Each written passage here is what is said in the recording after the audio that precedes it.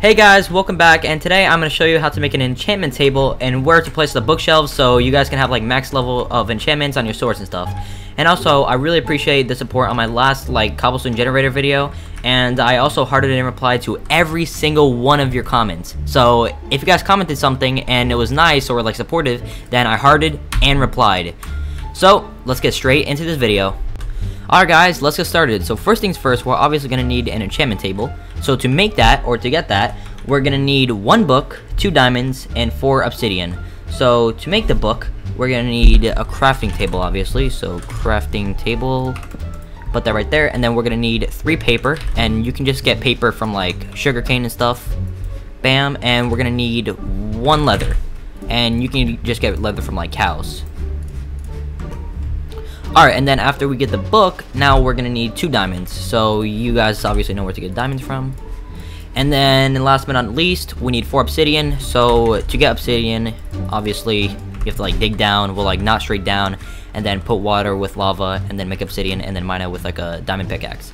So to make the crafting table, you put four obsidian like this, and then you put two diamonds right next to it, and then you put one book right on top, and bam, enchantment table. Alright guys, and then after you get your enchantment table, then you're going to need to make the bookshelves obviously. So let's just first place the enchantment table like right down here. And to make the bookshelves, you're just going to need six planks. Right? Six planks, alright, and then we're going to need three books, so just do like the same process that I did earlier in the video. And then we're going to put the three planks like that, three planks like that, three books like that, bam. Alright guys, and then after you get your bookshelf, then you want to get 14 more, but since I'm in creative, I'm just going to get 64. So, after you get your 64 bookshelves, now we can actually start. So, you want to start by placing one bookshelf, like, like between like this gap here, and then you kind of want to go like around it. So, for example, just do like this. And then you want to place like one inward like this, and do the exact same for the opposite side. And there we go. And here is also a higher perspective view of the enchantment table and the bookshelves for better reference. So now we can test this. So for example, let me just get like a diamond sword. And let me get some lapis. Alright, so let's see. Yep, sharpness 3, smite 2, fire aspect 1. That's way better enchants than like a normal enchantment table without the bookshelves.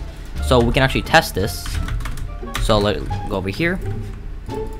See that? Knockback 1, Sharpness 1, Sharpness 1. It's like way worse enchants. Alright guys, and that wraps up the video. So if you guys enjoyed, please leave a like and please consider subscribing to my YouTube channel. And if you guys want to, you guys can leave a comment down below and I'm most likely gonna heart and like and like reply to every single one of the comments. So if you guys want to do that, then you guys can get a reply from me. But other than that, then see you guys later and goodbye.